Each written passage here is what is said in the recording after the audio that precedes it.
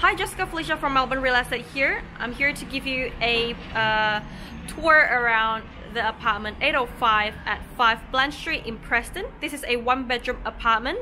Uh, it comes with a car space as well. Um, just wanted to give you a brief overview of the location of the property.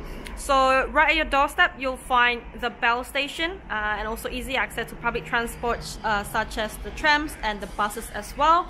Um, only short walk away to the local shops, cafes and restaurants. Truly of a very good location.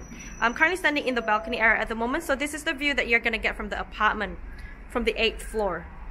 Um, just to give you a brief overview of the floor plan, from the balcony area, you'll find the kitchen, living and dining area. Straight ahead of me is the uh, uh, entrance. That's the uh, bedroom. And behind the bedroom, you'll find the bathroom. So let's have a look around the property. So as you can see, the living space is very spacious.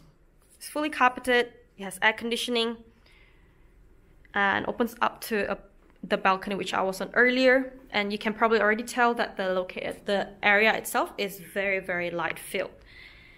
Moving on to the kitchen.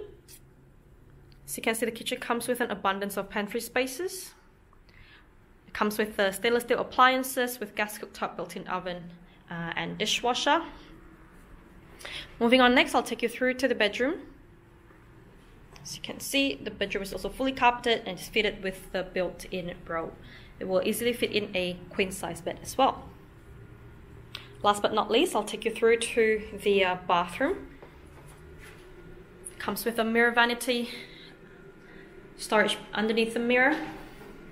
That's the shower and a European laundry area just behind, um, just behind the door. So if you're interested in the property, hurry up and register for the inspection through the links provided below. If you have any questions or queries, please do not hesitate to give us a call. And we look forward to seeing you in one of our inspections. Thank you so much for watching. Bye-bye.